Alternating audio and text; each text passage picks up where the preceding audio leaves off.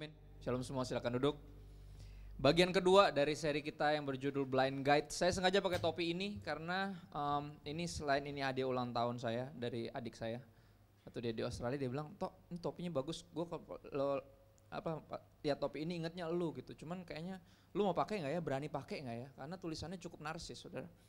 Tulisannya saints, orang kudus. Berani makainya nggak ya? Saya bilang, aduh berani nggak ya? Ya udah beliin aja deh. Gitu. Karena satu saya suka topinya, bagus bahannya dan Tulisannya jujur kalau pakai ini saya nggak percaya bahwa kita itu orang kudus dalam artian kita kudus karena minggu lalu kita bahas our own self righteousness. Kita dikuduskan. Ya, kita bukan punya kebenaran kita sendiri, kita dibenarkan. Tapi topi ini pengen apa ya? Saya takut makainya kenapa? Karena ketika orang lihat saya pakai topi ini entah dia entah dia pikir saya sombong atau dia pikir saya seperti layaknya orang-orang kudus lain cenderung bawa pentungan yang ada tulisannya uh, the word ya kan firman Tuhan dan saya pentungin satu-satu yang hidupnya nggak sesuai sama firman Tuhan disebutnya mental itu uh, penghakiman. Jadi entah antara orang pikir saya sok kudus ya kan kamu suci ya kan sok suci lebih tepatnya aku penuh dosa kan gitu. Saya takut orang berpikir seperti itu atau lebih parah lagi saya takut orang malas deket saya karena ke mana-mana. Satu saya bawa Alkitab, ya kan dan status saya dua tahun terakhir ganti di Facebook jadi pendeta. Dan saya takutnya orang kalau dekat saya jadi males karena takut dihakimi. Dan kita akan belajar tentang hari ini um, blind guides tentang penghakiman. Salah satu yang menonjol dari kaum religius elit adalah penghakiman ya. Dan uh, kita mungkin mau ketawain mereka yang religius elit era itu mungkin ahli Taurat dan uh, Farisi. Kita mau ketawain, cuman nggak bisa karena itu kita. Nah hari ini saya akan ngetes sedikit. Saya sengaja sepanjang seri ini nggak pakai slides. Artinya kita akan buka Alkitab kita sendiri. Kita akan uji seberapa ahli Tauratnya kita. Gitu. Beberapa yang saya baca, saudara udah sering baca. Dan kalau boleh saya pakai, tapi kalau nggak usah deh gini aja, biar sopan. Ya, Yuk kita buka langsung ada beberapa pembacaan hari ini. Blind Guides uh, bagian kedua judulnya Judgmental. Yang pertama di Lukas 6 ayat 37 sampai 42 kita nggak akan baca semua. Lukas 6 ayat 37 sampai 42 di bawah judul hal menghakimi. Berapa banyak yang udah saya mau tes kadar ke ahli Tauratannya nih, ya kan? Berapa banyak yang udah pernah baca ini hal menghakimi. Ada angkat tangan yang tinggi nggak apa-apa. Jangan dengan sombong tapi dengan kayak udah pernah baca gitu, ya. Lukas 6 ayat 37 sampai ayat 42. Yang udah pernah baca sekali lagi yang katakan yang tinggi, boleh? Ya artinya kita kita bacain lagi. Janganlah kamu menghakimi maka kamu pun tidak akan dihakimi. Dan janganlah kamu menghukum maka kamu pun tidak akan dihukum. Lihat kata-kata ini, ampunilah dan kamu akan diampuni. Nah ini menarik kata-kata ini. Kenapa nampaknya penghakiman berkaitan dengan pengampunan. Jadi kalau kita nggak bisa mengampuni, sorry itu saya kita akan bilang bahwa kita lagi menghakimi. Ya, itu yang terjadi. Karena cuma ada dua yang bisa diberikan, cuma di, mesti pilih, beli beri penghakiman atau beri pengampunan. Ya, ketika kita nggak mau mengampuni, kita sedang menghakimi, terima atau nggak terima, itu keadaan hati kita, itu keadaan kita saat itu. Ya, ayat 38, berilah dan kamu akan diberi. Suatu takaran yang baik, yang dipadatkan, yang digoncangkan, dan yang tumpah keluar akan dicurahkan ke dalam ribaanmu. Apaan ya artinya? Sederhana kalau pernah beli beras pasti tahu artinya. Ya kan? Ada satu satu liter beras ada biasanya ada kayak mangkoknya dan kalau kelebihan itu nah itu kelebihan mesti diratain. Itu namanya dipadatkan dan itu bagian kita. Kalau pernah beli beras ngerti. Sebab ukuran yang kamu pakai untuk mengukur akan diukurkan kepadamu artinya kalau kita menghakimi kita pun akan dihakimi kalau kita mau diampuni kita harus mengampuni karena itu ukuran yang sesuai seperti yang kita pakai ke orang lain. Kita cenderung menghakimi orang lain dengan sangat cepat dan detail, tapi kita sulit menghakimi dan kita tahu kita like we, we are being religious. Ya, yeah. unlike Jesus, sama sekali nggak mirip sama Yesus. Dan ini ayat kita tentunya ayat tema sepanjang bulan ini. Yesus mengatakan pula suatu perumpamaan kepada mereka, dapatkah orang buta menuntun orang buta, bukankah keduanya akan jatuh ke dalam lubang?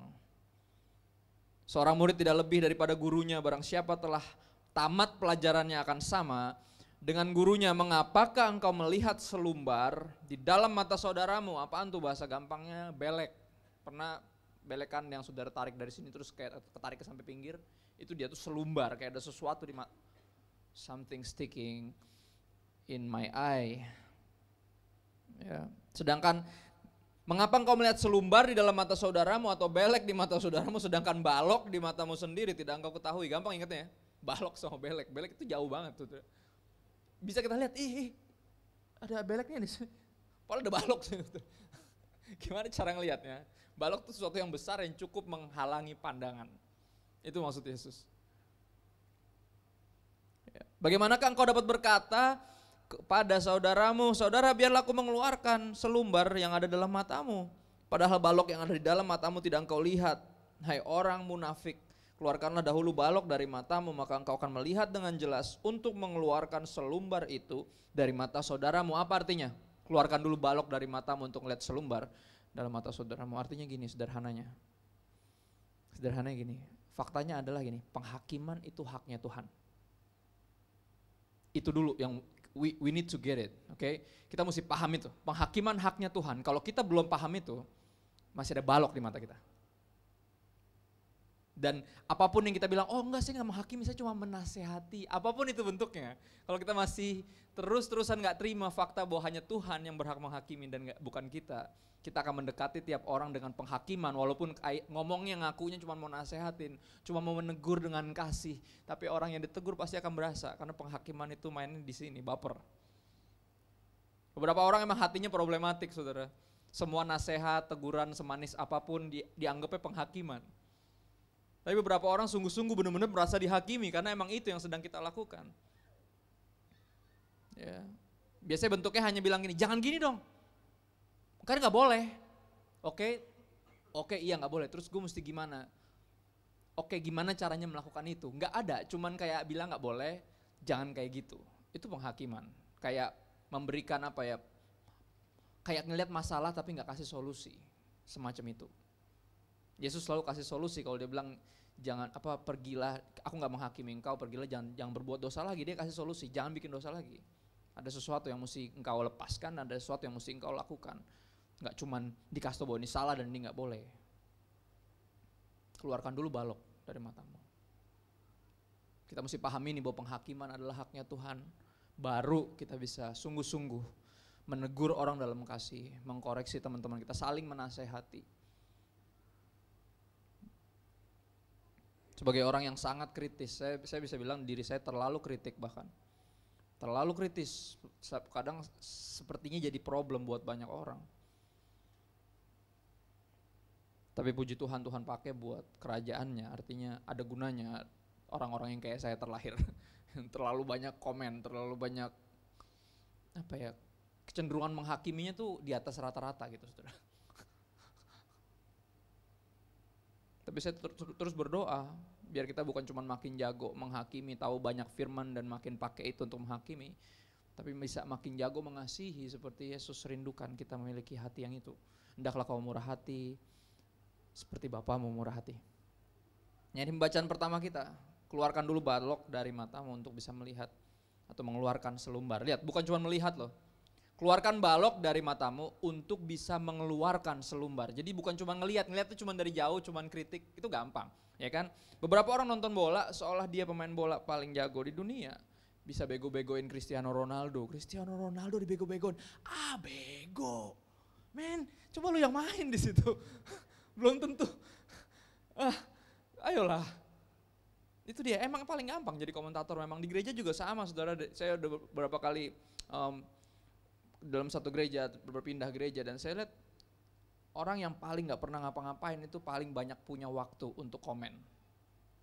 Tapi kalau yang sungguh-sungguh melayani yang benar-benar wah banting tulang istilahnya buat kerajaan sorga itu nggak bakal sempet untuk komenin orang lain. Nah, menghakimi nggak akan sempat. Artinya gini, kalau kita sibuk mengasihi, kita sibuk melayani, kita nggak akan punya waktu untuk menghakimi. Sepun sebaliknya, kalau kita masih punya banyak waktu untuk komen, banyak waktu untuk kasih kritik, pertanyaan, did did we really love or did we really serving the Lord? Pertanyaannya itu.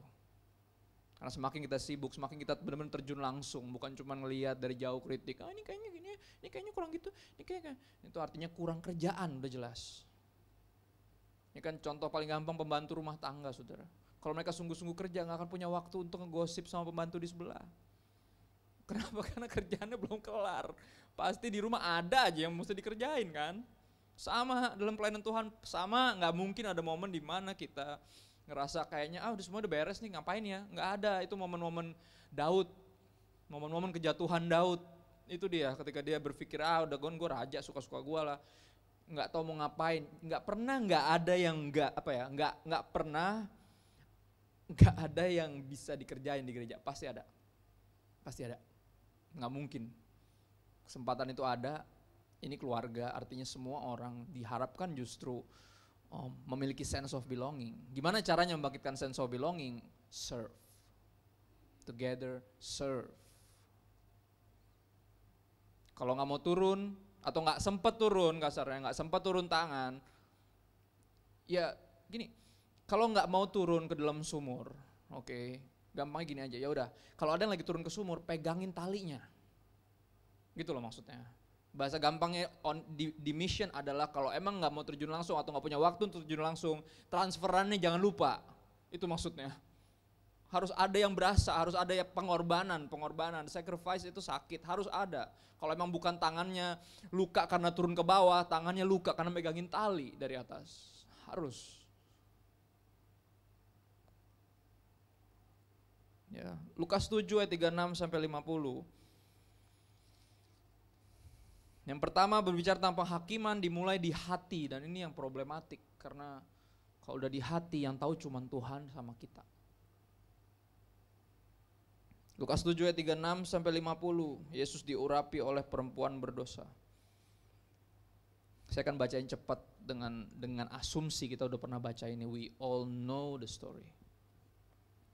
Seorang Farisi mengundang Yesus untuk datang makan di rumahnya. Yesus datang ke rumah orang Farisi itu lalu duduk makan. Di kota itu ada seorang perempuan yang terkenal sebagai seorang berdosa. Ketika perempuan itu mendengar bahwa Yesus sedang makan di rumah orang Farisi itu, datanglah ia membawa sebuah buli-buli pualam berisi minyak wangi. Sambil menangis ia pergi berdiri di belakang Yesus dekat kakinya, artinya di belakangnya. Ya bentuknya kalau kita tahu um, Ju, Ju, Jewish custom kita tahu gimana caranya mereka duduk berkumpul. Kayak um, konferensi meja bundar tapi nggak ada mejanya. Jadi kayak bangku muter gini mereka akan berlutut nyamping seperti ini dan kakinya menjulur ke belakang ngobrol. Dan perempuan itu di belakang. Ya ia pergi berdiri di belakang Yesus dekat kakinya, lalu membasahi kakinya itu dengan air matanya dan menyekanya dengan rambutnya. Kemudian ia mencium kaki Yesus dan meminyakinya dengan minyak wangi itu. Ketika orang Farisi yang mengundang Yesus melihat hal itu, ia berkata di mana saudara? Dalam hatinya. Jika ia ini nabi, if if this dude is special, Tentu ia tahu siapakah dan orang apakah perempuan yang menjamahnya ini. Orang macam apa perempuan ini. Kalau dia benar-benar nabi dia mestinya tahu. Dia mestinya punya kepekaan rohani. Hah? uh, udah berapa puluh tahun kita dalam dunia peragamaan ini saudara. Sampai kalau lagi nongkrong sama yang aneh-aneh kayak, ini orang gak peka nih. Mesti dia tahu. Perempuan macam apa yang lagi sok-sokan nanya-nanya ayat sama dia. ya ampun kebukaan rohani bukan kayak spider sense-nya Spider-Man saudara yang kalau ada yang jahat tiba-tiba nyala terus mesti hati-hati, mesti hati-hati. Kita mesti peka jangan sampai ada yang tiba-tiba datang ke kita sosok nanya ayat nggak tahu ujung-ujungnya minjem duit dan kita mesti peka kayak enggak kita mesti punya belas kasih kalau dia mau pinjam duit bahkan dia minta sekalipun beri kata Yesus beri. Nah kita cukup sering mengucapkan kata-kata kalau kita tahu yang baik dan tidak melakukannya kita juga sedang berbuat dosa. Kalau kita tahu kita kalau kita bisa bantu kata Salomo dia di di salah satu wisdom literature dia tulis kalau kita tahu kalau kita bisa ada pada kita untuk bantu orang dan kita pilih untuk enggak Kita sedang menipu diri. Kita sedang menghina Tuhan.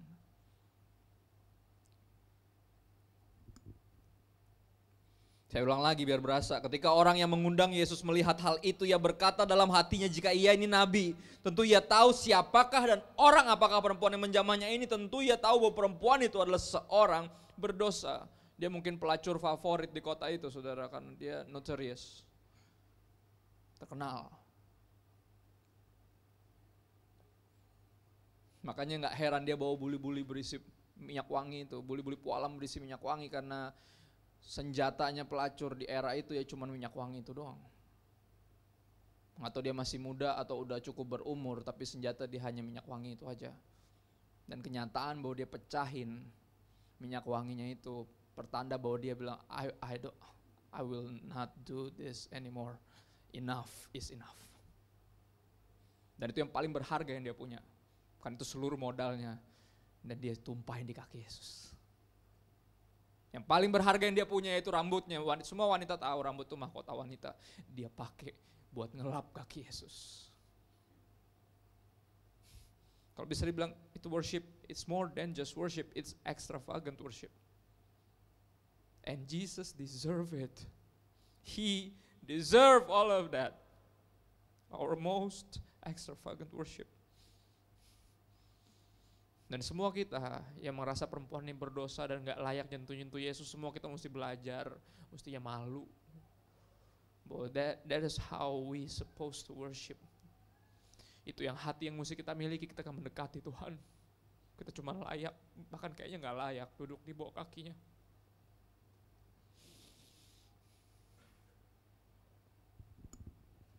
Lalu Yesus berkata kepadanya, Simon, lihat nih, heart matters. Salah satu seri pertama saya waktu saya per pertama pindah sini. The heart of the matter is the matter of the heart. Intinya masalahnya, problemnya selalu adalah di sini.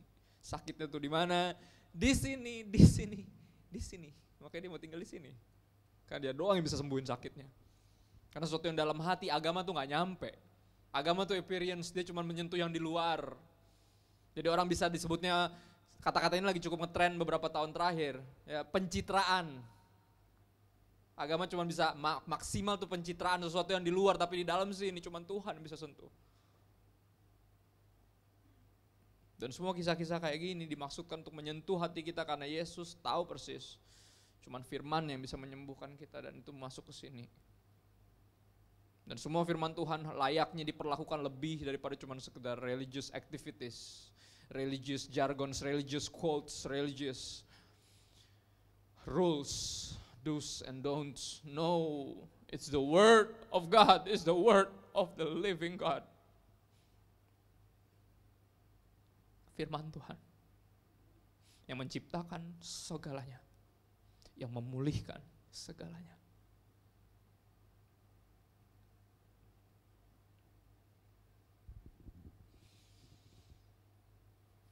Dia lagi mikir gitu di hatinya, langsung Yesus sikat. Kenapa Yesus tahu hati orang sederhana? Karena Yesus Tuhan. Karena Tuhan yang bikin hati kita. Makanya dia yang paling tahu. Kalau Yesus cuma nabi, nggak mungkin dia tahu isi hati orang. Bahkan setan pun nggak tahu isi hati orang sederhana. Kenapa? Karena setan nggak bikin hati kita. Dia nggak tahu hati kita, tapi Tuhan tahu. Kenapa Yesus tahu? Karena dia Tuhan. Dia nggak kira-kira, dia nggak sosok pakai kepekaan rohani, dia langsung tahu nih orang lagi mikir apa. Langsung ditembak, Simon. Ada yang hendak katakan kepadamu, Saud Simon, katakanlah guru dia kayaknya sopan banget nih yang undang ini, si Farisi ini. Ada dua orang berhutang kepada seorang pelepas uang yang seorang berhutang 500 dinar, yang lain 50. Sepersepuluhnya doang. Karena mereka tidak sanggup membayar, dua-duanya nggak sanggup, maka ia, sang pelepas uang itu, menghapuskan hutang kedua orang itu. Siapakah di antara mereka yang akan terlebih mengasihi sang pelepas uang? Jawab Simon, aku kira dia yang paling banyak dihapus hutangnya. Kata Yesus kepadanya, betul pendapatmu itu. Dan sambil berpaling kepada perempuan itu, ia berkata kepada Simon, kau lihat perempuan ini? Saudara-saudara mesti lihat, this posture is interesting. Karena gini, sepanjang Yesus ngomong, perempuan itu nampaknya masih terus melakukan apa yang dia lakukan. Dan Yesus kalau bukan Tuhan, nih beberapa kali keberatan dari teman-teman yang nggak percaya atau nggak setuju bahwa Yesus adalah Tuhan selalu bilang kayak gini, mana ayat yang bilang Yesus Tuhan, terus dia bilang sembahlah aku. Terlalu sering muncul dalam segala percakapan itu. Mana Tuhan Yesus pernah, emang Yesus pernah bilang gue Tuhan terus sembah gue? Mana coba tunjukin. Dalam hatiku gini loh, men, kalaupun ada ayat kayak gitu emang lu mau nyembah dia? Hah? Satu Alkitab menulis tentang dia. Satu Alkitab mencatat, perjanjian baru mencatat apa yang Yesus bilang sendiri. Dan kenyataan bahwa dia terima penyembahan itu menunjukkan bahwa entah antara dia narsis atau dia benar-benar Tuhan. Di Wahyu, ketika Yohanes ketemu dengan malaikat, Yohanes di Pulau Patmos dia ketemu malaikat dia sujud karena malaikat itu sangat besar, raksasa dan berkilauan dan Yohanes sujud dan malaikatnya bilang, jangan menyembah saya. Kita sesama hamba. Even angels menolak. True angels, not demons. True angels menolak untuk disembah karena cuma Tuhan yang layak disembah. Dan Yesus nggak nggak melarang wanita ini melakukan apa yang dia lakukan. Kalau emang Yesus bukan Tuhan, dia bilang, jangan dong, jangan. Lebay banget nih saya bisa, saya cuma hamba Tuhan, jangan dong. But he let the women do that. Terus sambil dia bilang nih, lihat deh, Simon, dia ngomong sama Simon. Sambil berpaling kepada perempuan itu. Engkau lihat perempuan ini, aku masuk ke rumahmu namun engkau tidak memberikan aku air untuk membasuh kakiku. Artinya undangannya cuma formalitas. Asal undang. Jewish custom again and again. Ya, Peraturan Yahudi itu selalu sederhana, saudara mesti at least minimal. Kalau benar-benar tamu terhormat, nggak akan hanya cuma disediain um, baskom untuk cuci kaki. Itu minimal loh. Itu sambutan sopan santun paling minimal adalah dikasih air untuk cuci kaki. Airnya aja nggak ada. Tapi kalau dia tamu kehormatan, sungguh-sungguh tamu kehormatan dia akan dicuciin kakinya. Itu dia. Tapi harus bilang apa? Lihat perempuan ini kamu ngundang saya dari pertama saya masuk nggak ada air cuci kaki. Boro-boro kamu mau cuci kaki saya. Nampaknya kamu undang saya asal. Berapa kita ngundang Yesus, ngundang Tuhan hadir hanya di dalam momen-momen tertentu. Baru selesai cicil rumah, ah, kita ada apa kebaktian, syukuran. Sebenarnya gini, bukan syukuran lebih tepatnya, hanya takut rumahnya ada hantu. Jadi diundang pendeta untuk ngadain pembersihan. Semacam saya bisa rasakan di sebelah sini ada apa gitu. Seringkali itu dia gimmicknya adalah syukuran. Sebenarnya lebih tepat karena tadi malam ada suara-suara apa gitu di belakang. Jangan-jangan rumah kita. Saya paling suka tulisan ini, saudara. Di toko buku Kristen biasa dijual tulisan ini. God apa God is the Lord of this house. Tuhan adalah raja, tuan atas rumah ini. This is his house. Kalau emang benar itu rumah dia, kalau yang benar itu ucapan syukur kita bahwa Tuhan mengizinkan kita punya rumah dan ini rumah dia kita dedikasiin rumah ini buat dia dan pekerjaannya. Komsel nggak akan sulit dibuka di situ, benar? Nggak perlu dipaksa-paksa, bu. Ayolah bu buka komsel bu, rumahnya gede tuh bu. Ya kan, lu muat banyak bu. Aduh jangan tak berantakan rumah saya apa segala macam alasannya. Tapi syukuran, sosok undang Tuhan. Gini kalau benar, if true that God is the Lord of that house, there will be no demons there. kalau ada terang gelap nggak mungkin ada di situ. Nggak mungkin dia nggak akan betah. Kalaupun gelap ada di situ, every day akan ada worship of God dan setan paling benci dengar itu. Dia trauma dengar itu karena dia di sana dulu. dan dia dibuang. Dia trauma dengar itu semua. Panas, panas dia akan teriak itu, saudara. Nggak akan betah dia kalau benar-benar Tuhan adalah raja atas rumah itu. The question stands, apakah kita selalu mengundang Yesus hanya dalam special occasions or every occasion for us is special because he is here. He is here.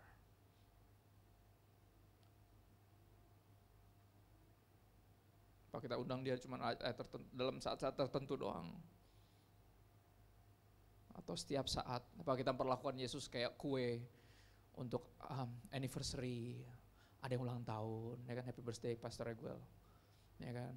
Terus kayak ada yang naik naik gaji atau syukuran rumah ada tumpeng, Apakah dia cuman ayat firman Tuhan tuh kayak gitu, sesuatu yang saudara da, apa ya samperin untuk special occasions. No, it's bread for our life. Dia roti untuk kita bertahan hidup. Daily bread. Bukan special cake for special occasions. He is our daily bread. He is our life, source of life. He is life.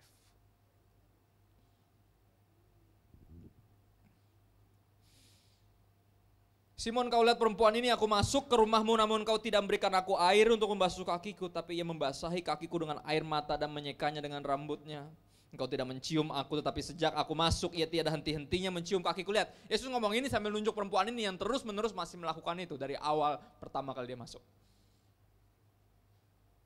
Nampaknya dia dengan sangat jelas receive worship. Because what? He is God. He is God. Bukan kata guru sekolah minggu dia Tuhan, bukan kata pendeta yang adalah papa saya, dia Tuhan tersiang papa saya yang khotbah. Tapi saya lihat sendiri Yesus di sini. Dia nunjuk perempuan yang masih melakukan hal yang sama. He receive worship. The question stands who he think he is. Who is he?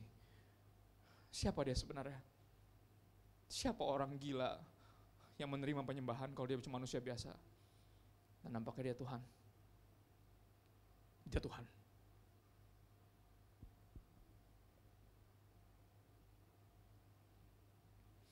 Kau tidak mencium aku tetapi sejak aku masuk ia tiada henti-hentinya mencium. Lihat saudara bukan pipi. Kakinya dicium. Engkau tidak meminyaki kepalaku dengan minyak. Tetapi dia meminyaki kakiku dengan minyak wangi. Sebab itu aku berkata kepadamu dosanya yang banyak itu telah diampuni. Sebab ia telah banyak berbuat kasih. Tetapi orang yang sedikit diampuni, sedikit juga ia berbuat kasih. Yesus lagi ngebully orang ini sebenarnya tapi nggak langsung. Kenapa? Karena dia ngerasa dia righteous. Sedikit yang Tuhan perlu ampuni dari saya. Karena saya lumayan suci. Tidak penuh dosa. Seperti perempuan ini. Orang yang sedikit diampuni akan sedikit mengasihi. Kenyataan bahwa engkau memperlakukan saya, kata Yesus, secara liturgis, secara formalitas. Menyatakan bahwa engkau sedikit diampuni. Makanya sedikit juga engkau berbuat kasih, lalu ia berkata kepada perempuan itu dosamu telah diampuni. Dan mereka yang duduk makan bersama dia berpikir lagi dalam hati mereka, siapakah ia ini sehingga ia dapat mengampuni dosa? Cuman Tuhan yang bisa mengampuni dosa. Yesus melakukan ini cukup sering. Ada seorang yang lumpuh yang digotong sama temannya, atapnya dibolongin ya kan kayak teng teng teng teng teng teng teng teng teng pakai laser tenenet tenenet tiba-tiba turun. Lagi khotbah tiba-tiba ada yang kayak gitu rusuh banget. Kenapa? Karena pengen banget temannya bisa sembuh. Orang-orang gila ini. Gotong temennya yang nggak mau ke gereja, temannya diseret temannya ke gereja. Dijebak, bro ada konser bro. Ya kan? Gratis. Siapa yang main? Youtubers. Itu loh yang suka nyanyi di Youtube itu Pas datang, ah ini mah kebaktian lu bohongin gue lu. Ngapa gue pengen lu ketemu Yesus. Biar sembuh. Orang ini melakukan apa pun, mereka melakukan apa pun untuk sahabatnya. Ini sahabat sejati. Sahabat sejati gak akan biarin sahabatnya binasa. Gak akan pakai alasan takut kehilangan persahabatan dan membiarkan temannya berakhir di neraka. Padahal tahu akulah jalan dan kebenaran dan hidup. Tidak ada dapat sampai kepada Bapak kalau nggak lewat aku. Beberapa kita tahu itu, tapi terlalu takut kehilangan persahabatan. And somehow we think friendship lebih berharga dari the soul of our friend. Kita korbankan sahabat demi persahabatan. Wow. Sahabat macam apa kita?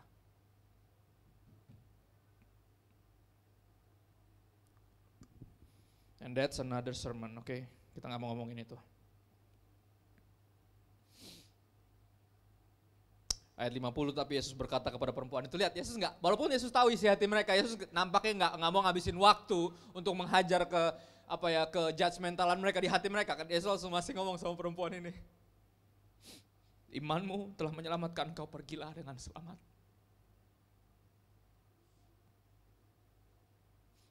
Your sin is forgiven. Yang pertama yang adalah yang penting. Terpenting adalah dosa kita diampuni Lebih dari mujizat atau financial breakthrough atau sakit jadi sembuh atau apa pun itu.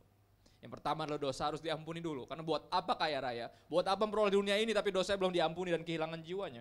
Buat apa sehat walafiat dan sampai umur 153 dan, tapi habis itu binasa buat apa?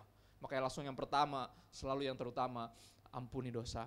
Your sin is forgiven dan berikutnya baru pergilah dengan selamat. Imanmu telah menyelamatkan kau. Iman kelihatan dari mana? Worship is the proof of our faith. If our worship is se seadanya, berarti iman kita jangan-jangan nggak ada malah, mending seadanya. Bagus ada, karena apa? Se seperti biji sesawi, iman masalah ada atau enggak, bukan masalah gede apa kecil. Ada apa enggak? Karena sebesar biji sesawi aja bisa mindahin gunung. Tapi kalau worship kita seadanya, kemungkinan besar we are playing this religious game. Kemungkinan besar we are being religious nggak ada real relationship, real relationship, nggak ada benar-benar hubungan sama Tuhan. Karena kalau kita tahu dan percaya who Jesus really is, kita akan menyembah semewah penyembahan perempuan ini. Because he is worthy. He is worthy.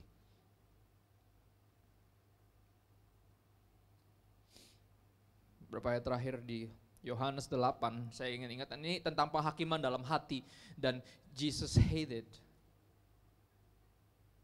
God hate this judgmental spirit even di dalam hati itu udah problematik. Dan apalagi yang kayak gini Yohanes 8 mencatat satu kisah yang paling serem yang pernah ada.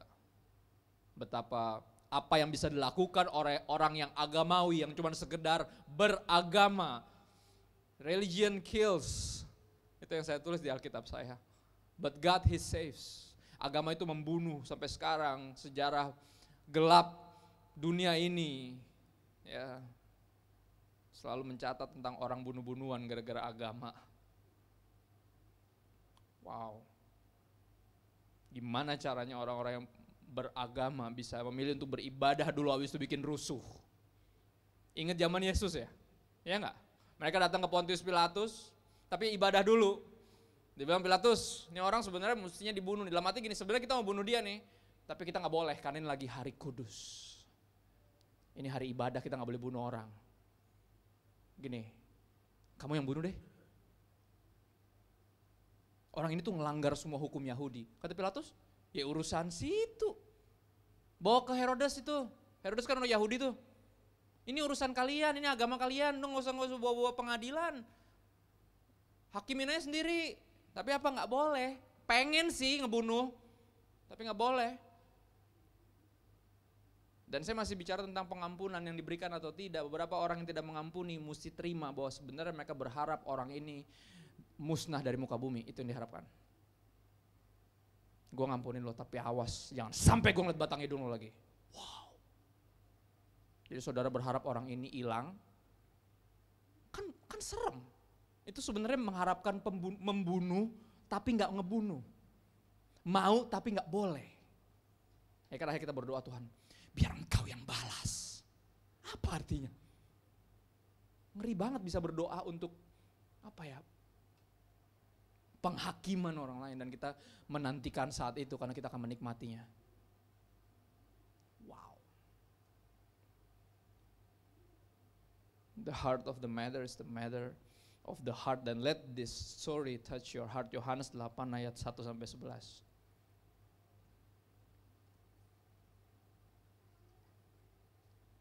Perempuan yang berzina.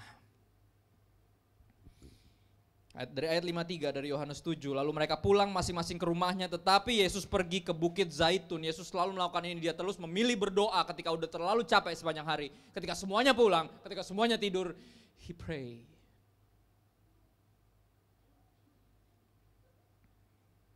Pagi-pagi benar ia berada lagi, kata lagi menunjukkan bahwa dia selalu ada di situ.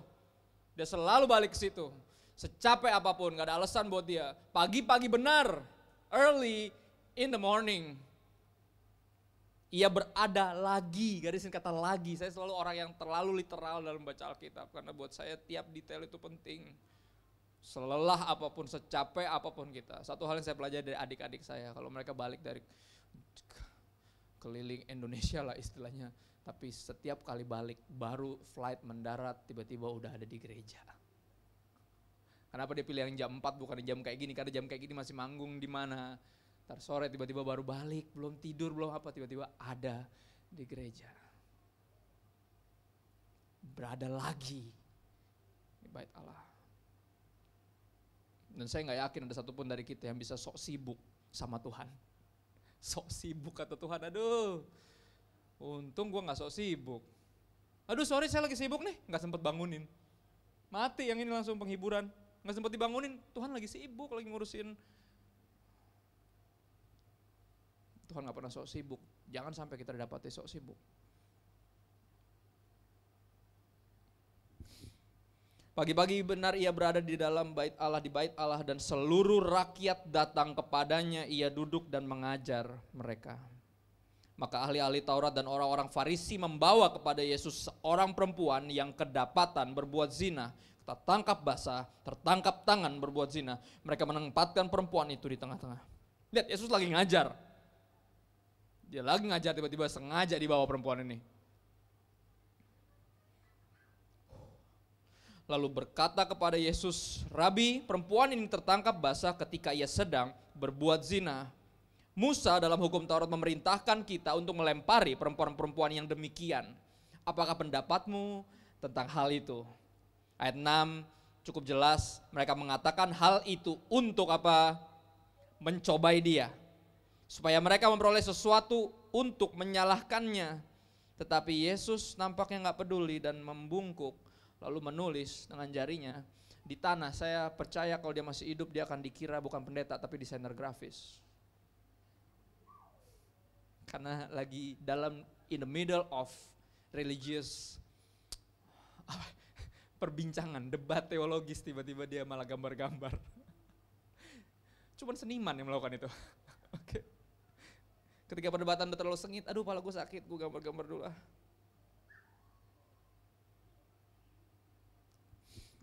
Dan ketika mereka terus-menerus bertanya kepadanya, lihat gak artinya apa? Dicuekin. Ini ngomong nih, Musa, menurut buku Musa gini-gini dan jangan kayak du du du du du. Terus menerus berbicara apa? Dia mereka nggak nanya sekali, artinya Yesus agak-agak nyuekin mereka. Dan ketika mereka terus menerus bertanya kepadanya, akhirnya apa digerah juga, ia pun bangkit berdiri lalu berkata kepada mereka, barang siapa di antara kamu tidak berdosa, atau tidak pernah berbuat dosa, hendaklah ia yang pertama melemparkan batu kepada perempuan itu. Lalu ia lanjutin gambarnya. Karena tanggung, belum selesai. Lalu ia membungkuk pula, membungkuk lagi. Dan menulis di tanah, lanjutin. Tetapi setelah mereka setelah mereka mendengar perkataan itu pergilah mereka seorang demi seorang mulai dari yang tertua yang ngerasa paling banyak amalnya. Udah puluhan tahun dalam dunia pelayanan, udah banyak portfolio yang bisa dibawa kepada sorga. Yang kalau kata Yesaya kayak kain kotor, kayak dirty laundry. Happy birthday, bawa kepada Tuhan pakaian kotor yang adalah kesucian manusia. Seorang nabi bisa tahu bahwa kesucian manusia di hadapan Tuhan itu kayak kain kotor. Nggak ada satupun yang bisa kita bawa kepada Tuhan dan bilang, you owe me. You you have to bless me. I I have a right to be blessed. This and this is why. Nggak ada satupun dari kita yang punya apa pun yang bisa dibawa dan nagih sesuatu dari dari Tuhan. Semuanya berdasarkan belas kasih. Belas kasih kita semua pengemis, kita semua gembel dan meminta belas kasih dari Tuhan dan puji Tuhan dia berbelas kasih kepada kita.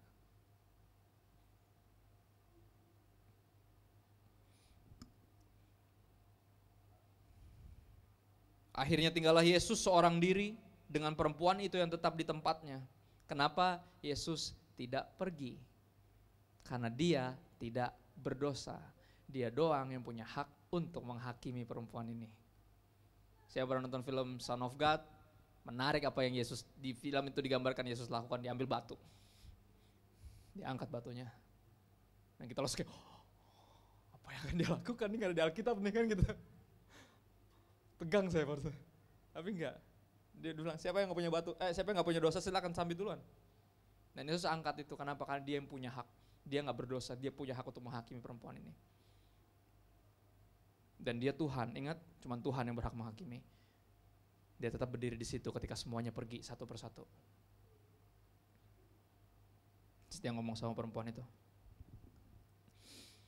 Dia berdiri, dia masih entah gimana dia jongkok, semuanya pada pergi, dia nggak pergi, dia berdiri. Dan perempuan itu pasti kaget karena dia mungkin angkat batu seperti di film itu. Perempuan terus kayak, oh, mati gua, mati gua, mati gua, mati gua, mati gua. Dan semua yang lihat kayak, yes, yes, yes, yes, sambit dia, sambit dia. Hakimi dia.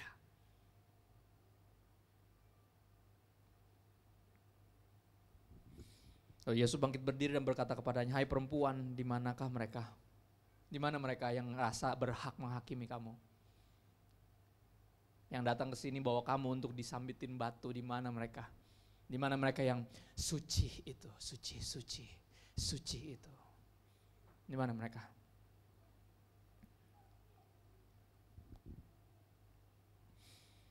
Tidak adakah seorang yang menghukum engkau? Jawab perempuan itu tidak ada Tuhan. Lalu kata Yesus, saya suka banget kata-kata ini, aku pun tidak menghukum engkau. Aku pun tidak menghakimi engkau.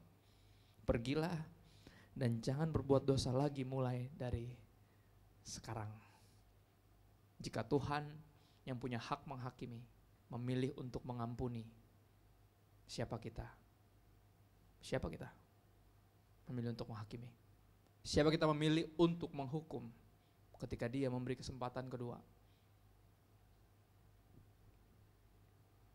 Saya akan tutup dengan satu ayat ini. Kita buka bersama ke uh, ulangan 9 ayat 10. Beberapa pertanyaan teologis yang cukup menggelitik adalah apa Yesus ngapain sih jongkok-jongkok nulis-nulis di tanah? Dia nulis apa sih? Kalau saya desainer grafis, saya tebak jangan-jangan dia gambar apa sih? Penasaran saudara? Ya kan beberapa khotbah cukup bagus membahas hal ini, tapi saya nggak mau apa mendekati dari apa kata orang, saya berusaha menulis apa yang firman Tuhan, coba apa ya pasti ada hints. Karena gini, Yesus tiga setengah tahun pelayanan, oke? Okay? Semua yang dia katakan dan lakukan nggak mungkin ada yang iseng, nggak mungkin.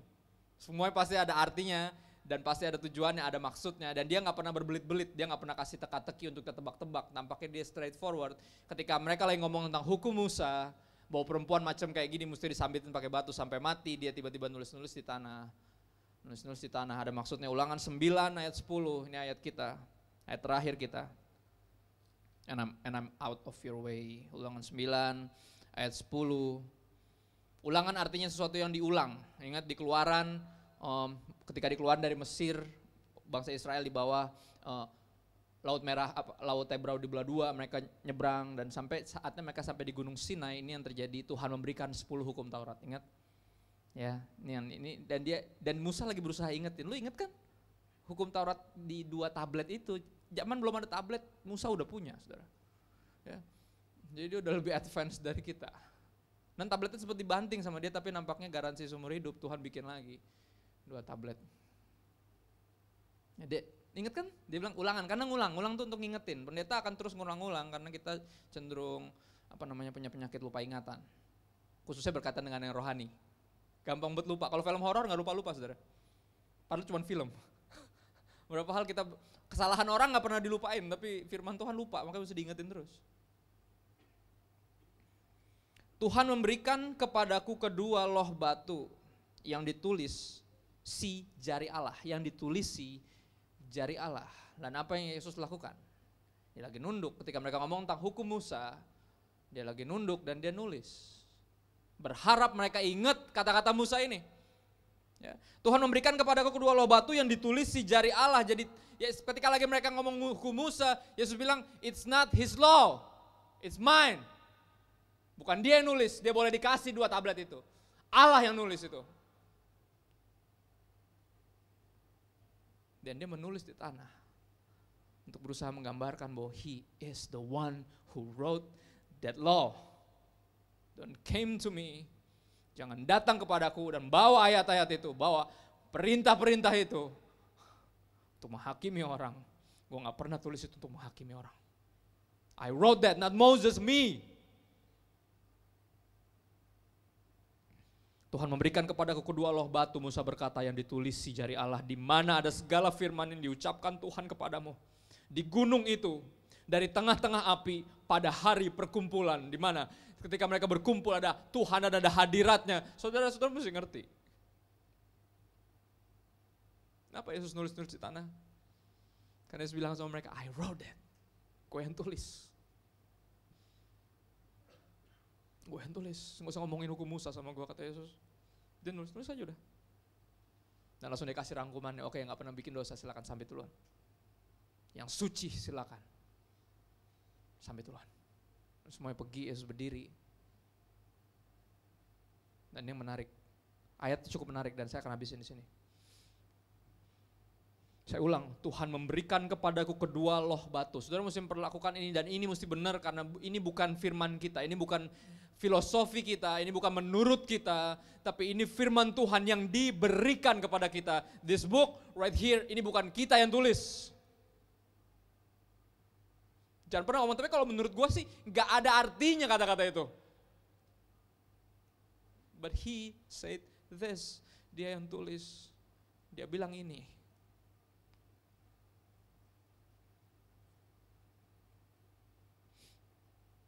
Tuhan memberikan kepada kedua loh batu yang ditulis di jari Allah di mana ada segala firman yang diucapkan Tuhan kepadamu di gunung itu dari tengah-tengah api dan pada hari perkumpulan ini. Rangkuman saya dengerin saudara dari ayat ini kita tahu. Apa yang kita dapat di gereja? Apa yang kita dapat di gereja? Firman apa yang kita dengar dari Tuhan sendiri? Oke? Okay?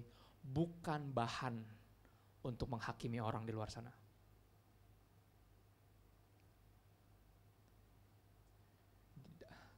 Tuhan memberikan kepada kedua loh batu yang tertulis firmannya, ditulis dengan jari Allah yang kamu dapat di mana di tengah di gunung, di tengah api dan dari perkumpulan. Itu bicara apa? Ini dia. Kita belajar sesuatu hari ini bukan bahan nih kita pakai untuk menghakimi orang, bukan. Bahan nih kita pakai untuk memperlebar hati kita sehingga kita punya kecenderungan yang tadinya menghakimi jadi punya kecenderungan untuk mengampuni, yang tadinya cuek bebek karena udah capek nasehatin dicuekin, kita akan terus datang dan bilang, pergilah dan jangan berbuat dosa lagi. Pergilah dan jangan berbuat dosa lagi. Ayat yang kita dapat di gereja bukan bahan untuk menghakimi orang di luar sana. Apa yang kita dapat dalam perkumpulan di gunung Tuhan yang suci di mana dia turun. Karena ketika kita meninggikan dia, dia turun di tempat ini, benar? He is here dan apa yang kita dengar dari dia. Dan yang tertulis di dua lohnya itu, yang ditulis dengan jarinya sendiri, mesti tertulis di sini tapi bukan untuk dipakai untuk menghakimi orang. Dan kita tahu kita semua punya PR kan? Kita lebih refleksnya mengha, mengha, apa, menghakimi dibanding mengampuni. Dan hari ini dia berbicara langsung. Kalau dia aja memilih mengampuni, siapa kita memilih menghakimi? Jika dia full of truth and grace, siapa kita cuman full of truth dan gak punya grace sama sekali. Keras menghakimi. Main hakim sendiri malah sampai level kayak gitu ya kan. Yang pertama di hati penghakiman. Yang kedua benar-benar di depan hidung mereka mau bunuh perempuan ini. Pakai ayat. Wow. Dan kita tahu kekristenan. Radikal Kristen sangat berbeda dengan radikal-radikal yang lain yang konon katanya radikal. Ngambil nyawa itu nggak radikal saudara itu anarkis. Itu jahat. Memberi nyawa itu radikal. Dan kita menyembah Tuhan yang memberikan nyawanya buat kita. Mudah-mudahan kita seradikal dia. Rela memberikan nyawa kita untuk sesama kita biar mereka bisa percaya siapa Yesus. Bukan mengambil nyawa mereka kalau mereka nggak percaya siapa Yesus. Itu bukan radikal, itu anarkis, itu teroris. Radikal Kristen adalah memberikan nyawa seperti Yesus memberikan nyawa bagi kita. Untuk mengampuni kita. Dan kalau dia memberikan nyawanya untuk mengampuni, apa yang kita berikan, apa yang kita lakukan untuk bisa mengampuni orang lain. Pengorbanan apa? Yang kita lakukan untuk memenangkan hati orang lain. Bukan memenangkan argumen, bukan memenangkan perdebatan, gak ada yang jadi Kristen sungguh-sungguh karena kalah debat semua yang bukan Kristen yang jadi Kristen Semuanya karena dimenangkan oleh kasih Tuhan. Love always wins. It's true. Dan kita diharapkan ketika kita mau dengar firmannya. Membuka buku ini dalam perkumpulan-perkumpulan seperti ini. Ya, Tuhan Tuhan berharap dan bermaksud untuk menyentuh hati kita. Yuk kita berdoa.